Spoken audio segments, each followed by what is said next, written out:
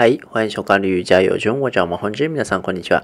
今天是介绍一个日本语叫“猛暑”，猛暑。嗯，这个猛暑是在日本的天气预报，可能夏天经常听到，就是特别热的一个样子。但是这个类似的说法其实有，你们知道吗？我可以介绍四种。第一个是刚才说的猛暑，第二个是酷暑。 酷暑，第三种是激暑，激暑，最后是炎暑，炎暑，猛暑、酷暑、激暑、炎暑。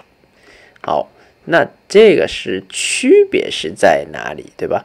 其实嘛，都差不多，所以其实只有末手记住也可以。一般是先介绍一下末手。末暑是一般是就是其中就是平时的最高气温三十五度以上的时候，可以说末暑。所以有的说有的人说末暑比，末暑比，嗯，一个天气预报的用语了，已经末暑比，末暑比，嗯，所以三十五度以上就叫末暑。呢其实以前是日本也是不会特别不会容易三十五度以上的一个例子，但是嘛。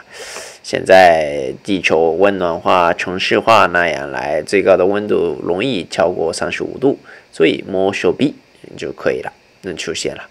然后酷暑，酷暑是非常的严厉的，特别热，嗯，但是其实，嗯，经常不太使用，嗯，一般是在写信里可能有一个。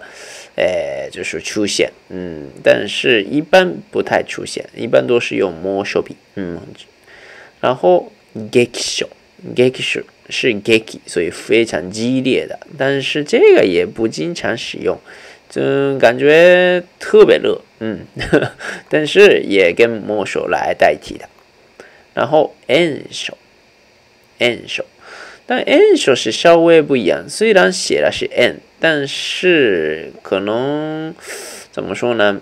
尖夏天，尖的夏天的特别严肃的一个夏，哎，就是暑，嗯，特别热的那个样子，嗯，所以其实可以说全部热，全部热，嗯，但是嗯，基本上都记住，只有记住末梢就差不多了，嗯，其他的都是。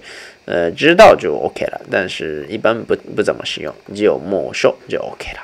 好，那么今天差不多就到这了，皆さんお疲れ様でした。